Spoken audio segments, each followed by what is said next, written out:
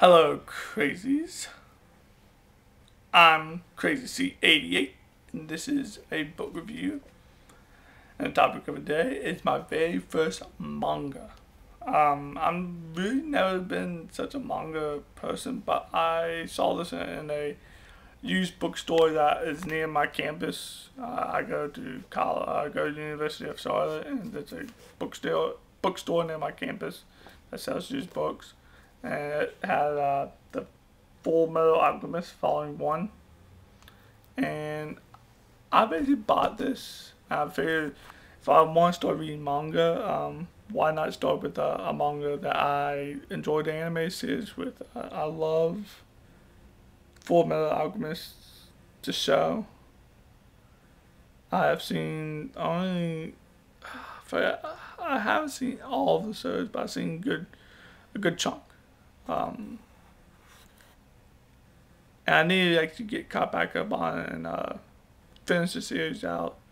But I really loved the series. Uh, I loved the, the show and I loved the aspect. And the first four chapters of Volume 1 were basically the first four episodes of uh, the show of Fullmetal Alchemist, not Brotherhood, but uh, the show. That is, I think Brotherhood is actually a continuation of the uh, manga series. It's the second set, but um, yeah, the first four chapters were the first four episodes. Uh, chapter one and two were the first two episodes. Chapter three is next episode. And chapter four is the after that. But they wrote they follow the so so so follows the stays true to the manga.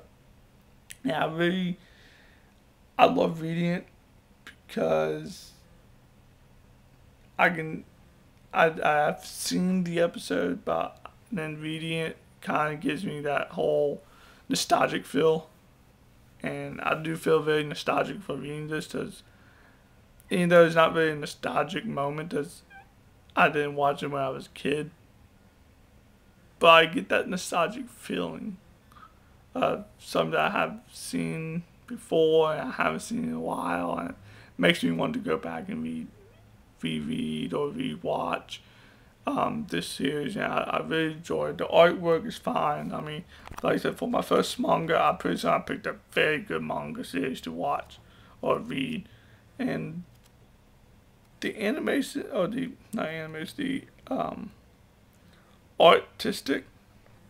I'm gonna show you a little bit of it. I mean, the the art is actually very, in my opinion, very, very good for a manga. I'm sorry about that.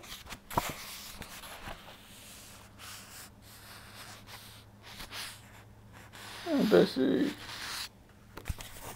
so I mean, it's definitely worth worth reading. I highly enjoyed it. I, I gave it five stars because I love the concept of the of this of the show and manga. Um, how they basically they attempted to play God and they they fail. I mean, not they, they basically got their their butts handed to them to attempt to play God, and they realized, hey, wait a minute, we're not meant to play God, and then they learned the hard way. They paid the ultimate price, and now they want to undo that price. So I definitely, I love the whole concept of them kind of being tragic heroes. And that, that they want to undo the mistakes and then leave. They want to basically get, get out. So I can't wait to, I really cannot wait to buy the next volume and just like continue buying the volumes. But I'm to have to wait a little bit and wait till I get some money. But I definitely want to continue this series of manga, and I might find more mangas I want to read. So, this has been Berserk Crazy signing off. Live and, live and let live, and keep on reading. Bye.